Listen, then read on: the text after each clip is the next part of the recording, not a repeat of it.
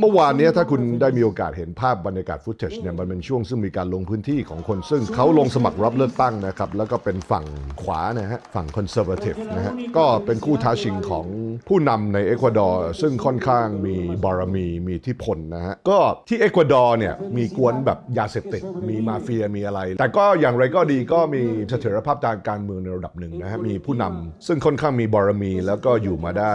นานพอสมควร แต่ว่าคนใหม่เนี่ยซึ่งโดนรอบสังหารเนี่ยเขาเป็นคนซึ่งได้ลงสมัครรับเลือกตั้งนะฮะแล้วก็เป็นที่นิยมของประชาชนมากทีเดียว คุณจะเห็นสื่อในสหรัฐเนี่ยพาดหัวว่าเป็นผู้นำฝ่ายคอนเซอร์เวทีฟฝ่ายอนุรักษ์หรือฝ่ายขวา เพราะว่าเขาเป็นคนซึ่งแบบมีความพร้อมในการที่จะประกาศว่าจะสู้กับขบวนการ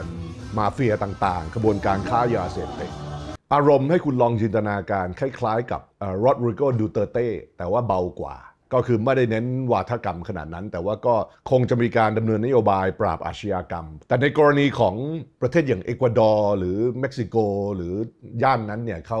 เขาเขาต้องการความเด็ดขาดในการใช้อำนาจรัฐ ในการจัดการล้างบางเครือข่ายมาเฟียต่างๆนะฮะไม่งั้นมันก็จะมีผู้ส่งอิทธิพลในแต่ละพื้นที่ แล้วก็เป็นแก๊งซึ่งมีการใช้ความรุนแรงกับพลเมืองในแบบที่คุณเห็นในหนังนะฮะคราวนี้ก็ตกลงแล้วคนซึ่งถูกลอบสังหารเนี่ยคือเฟอร์นันโด วิลลาวิเซนซิโอนะฮะวัย 59 ปี เขาโดนลอบสังหารที่เมืองหลวงนะฮะของเอกวาดอร์ก็คือกีโตนี่แหละ ซึ่งเกิดขึ้นไม่ถึง 2 สัปดาห์ก่อนจะเลือกตั้งประธานาธิบดีรอบพิเศษ แน่นอนสื่อในสหรัฐที่เชียร์ฝั่ง conservative เนี่ยเขาก็จะพาดหัวโดยทันทีเลยว่าเนี่ยเป็นผู้นำฝ่ายขวาซึ่งประชาชนนิยม แล้ว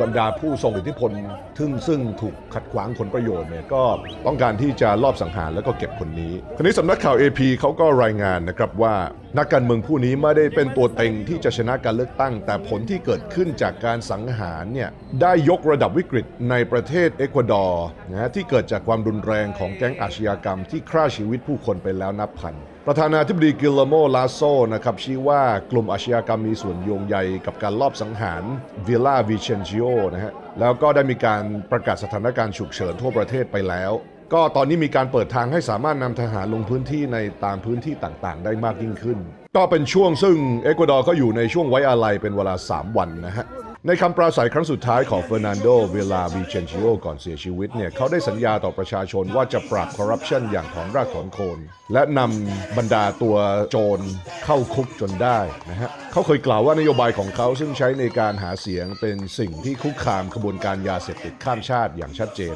นั้นแสดงว่าเขาเองเขาก็ยอมรับนะฮะว่าเขาประกาศสงครามกับบรรดาพ่อค้ายาเสพติด ซึ่งก็เป็นสิ่งที่คุณอาจจะทำได้เฉพาะในบางประเทศนะฮะแต่ว่าในบางประเทศบางทีถึงเวลาถ้าคุณจะทำจริงๆเขาก็เก็บคุณ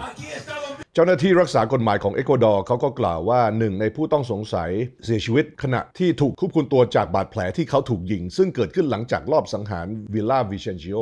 ทางการพยายามหาตัวผู้ต้องสงสัยในหลายพื้นที่ของกรุงกีโต จากเหตุสังหารวิลล่าวิเชนชิโอแล้วก็สามารถจับกลุ่มบุคคลได้ 6 รายทั้งหมด นักการเมืองผู้นี้เคยระบุว่าตนถูกขู่ฆ่ามาหลายครั้งรวมถึงการถูกขู่ฆ่าจากสมาชิกแก๊ง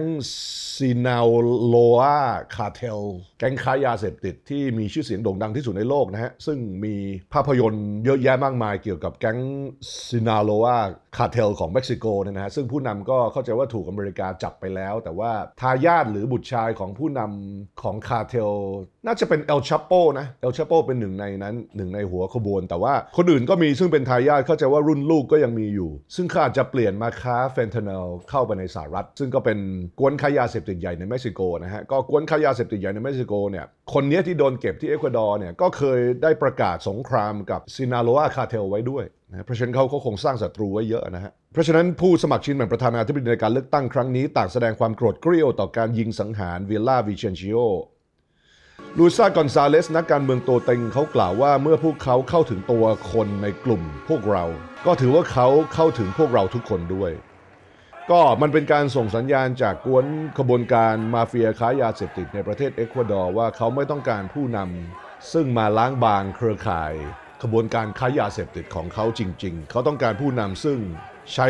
เพียงแค่วัฒกรรมในการหาเสียง แล้วถึงเวลาไม่ได้ไปปราบการค้ายาเสพติด แต่ว่าถ้าเกิดเขาเห็นคนไหน ซึ่งมีจิตวิญญาณอันแรงกล้า แล้วก็เป็นคนซึ่งมีความพร้อมในการที่จะตอบสนองอุดมการณ์ของตนเองในการ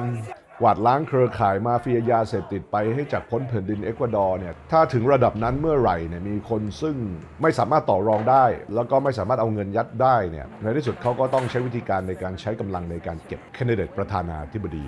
นะแต่ว่าความไม่ปลอดภัยในการดำรงชีวิตเนี่ยนะครับในหลาย ๆ เมืองในประเทศในแถบลาตินอเมริกาเนี่ยมันเป็นประเด็นใหญ่ในสังคมนะฮะเอาจริง ๆ อะบางประเทศยกตัวอย่างในกรณีของประเทศไทยเนี่ยมีปัญหาในเรื่องของความเหลื่อมล้ำเรื่องของการแสวงหาโอกาสในการเข้าถึงแหล่งเงินทุน หรืออาจจะพูดไปถึงเรื่องของการที่เราต้องการที่จะมีนิสิตนักศึกษาซึ่งจบมาแล้วก็หางานทำได้อะแต่ว่าบางประเทศนี่มีปัญหาซึ่งใหญ่ไปกว่าเรื่องต่าง ๆ เหล่านั้นนะฮะก็คือหมายความว่าความไม่ปลอดภัยในการใช้ชีวิตเลยในแต่ละวันน่ะคุณไม่สามารถออกไปข้างนอกบ้านได้ โดยที่เดินไปในตรอกซอกซอย แล้วก็มีความปลอดภัยอะนะฮะในแถบลาตินอเมริกา ถ้าคนไหนเคยไปเที่ยวเนี่ยไม่ว่าจะเป็นเปรูน่าจะอาการหนักกว่าอาร์เจนตินาหรือบราซิลด้วยซ้ำไปแต่บราซิลในบางโซนก็ค่อนข้างอันตรายนะครับเพราะว่ามันมีแก๊งมันมีมาเฟียจริงในแต่ละพื้นที่ ก็เคยคุยกับหลายคน ซึ่งบอกว่าตอนนั้นผมเคยมีไอเดียว่าอยากจะไปเที่ยวเมาชูพิชูอะไรเงี้ยแล้วที่เมาชูพิชูก็เขาก็บอกว่าไปขึ้นบนภูเขาก็ได้ แต่ว่าในระหว่างนั้นถ้าคุณเข้าไปเที่ยวในเมืองอะไรเงี้ยคุณควรจะมีไกด์ซึ่งมีอาวุธปืนเอาไว้ใช้ในการดูแล